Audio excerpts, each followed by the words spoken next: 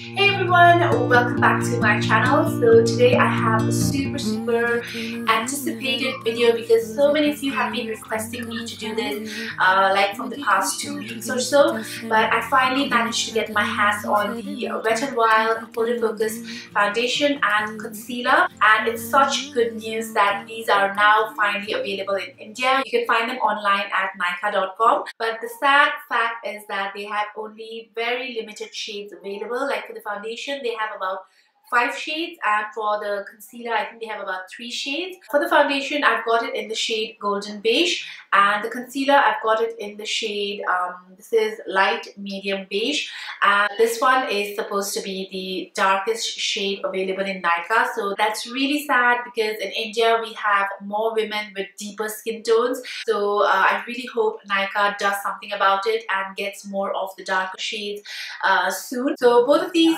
products are called photo focus which means they are supposed to look absolutely amazing on camera. So these are basically meant for photographs and for making your skin appear like it has some kind of filter on. So I'm really excited about that because I know we all here love filters. I am absolutely crazy about Snapchat filters because it makes your skin appear so smooth and nice. So the foundation here comes for rupees um, 5.99 that is 600 rupees. And the concealer comes for 3.99 which is 400 rupees. I think these two are one of the most affordable foundation and concealers here in India and I have heard like tons and tons of great reviews about this foundation. Uh, not a lot about the concealer but today we are going to test it out and see if all of that hype is true. I'm going to be doing a demo of these and I will also be checking back with you guys after every few hours to give you guys an update. If you're interested to see this review at first impressions then please keep on watching and if you like this video please don't forget to like it. If you're new here don't forget to subscribe to my channel and now let's get started. Alright guys, so I've just cleansed my face and moisturized it and I also went ahead and did my eye makeup because I didn't want to ruin it later. I was going for that smoky eyed look.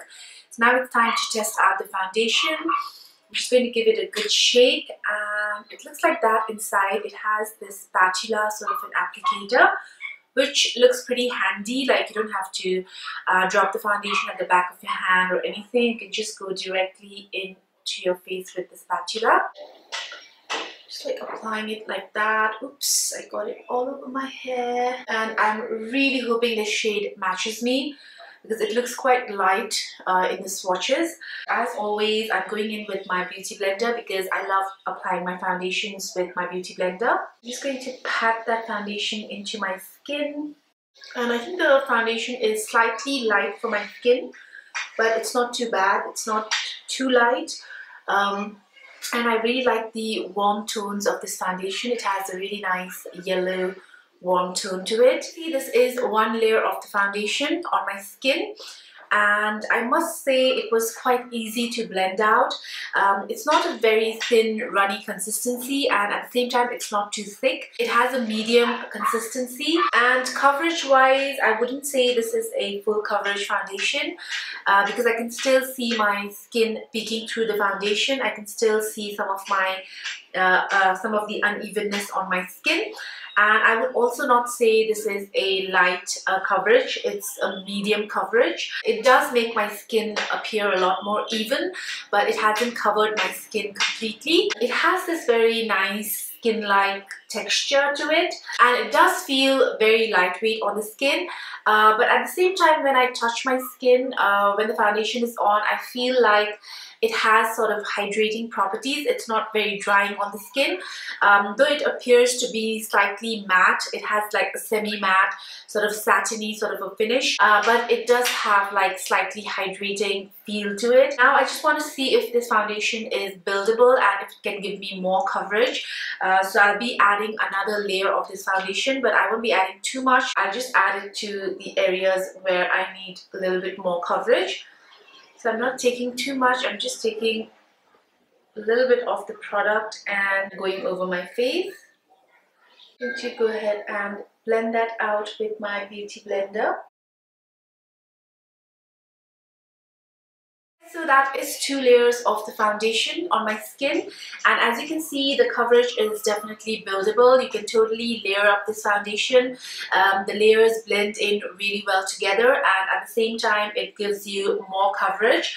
Um, I think right now uh, the coverage is leaning more towards a full coverage finish.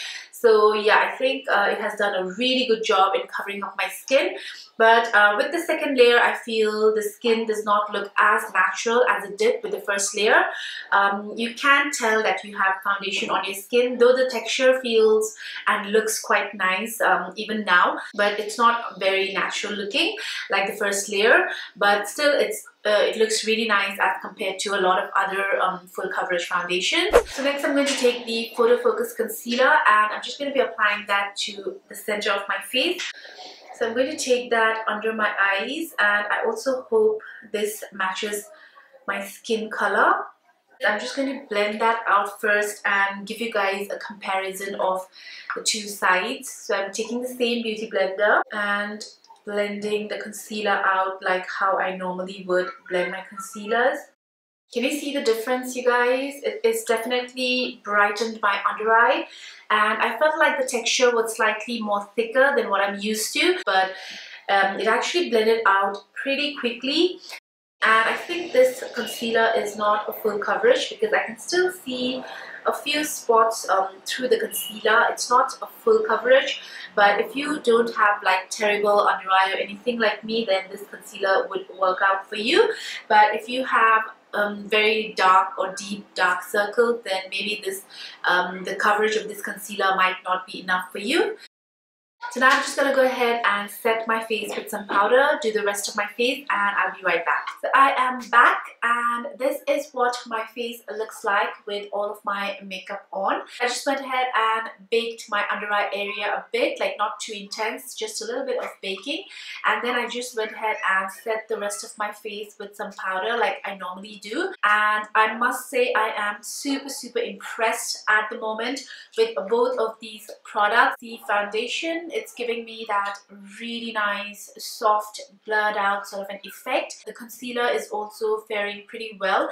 Uh, it still looks really really good but now it's time to see how long this effect is going to last. So I will be checking back with you guys after every few hours to give you guys an update of how this foundation is faring. So stay tuned for that. Hey guys, so I couldn't check back with you guys after that video.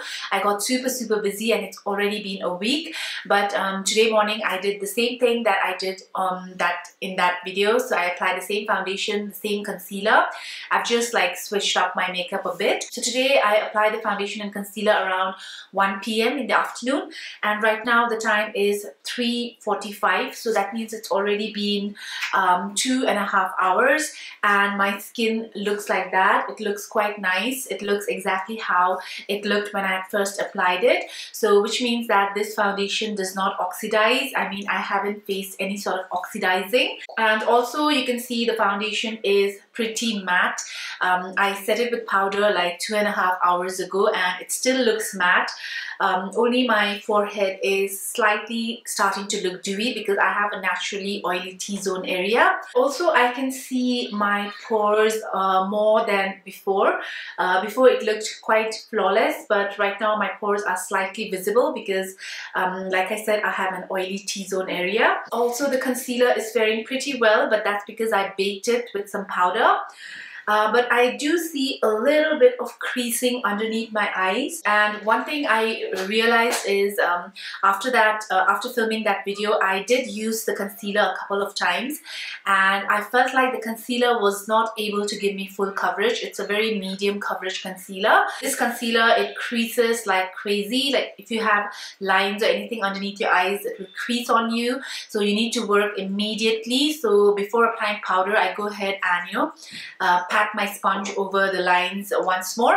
After using this concealer a few times, I'm not the biggest fan of this concealer. Uh, as for the foundation, I didn't use it after that day, so I can't tell you anything.